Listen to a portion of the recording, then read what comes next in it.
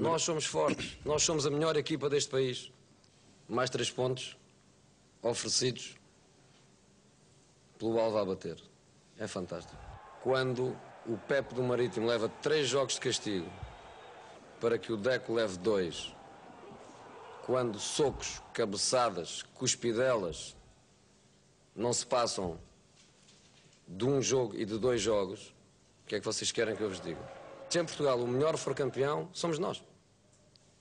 E em condições normais, nós somos muito melhores.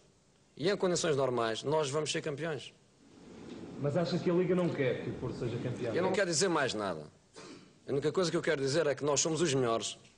Em condições normais, somos muito melhores. E em condições normais, vamos ser campeões. Em condições anormais, também vamos ser campeões.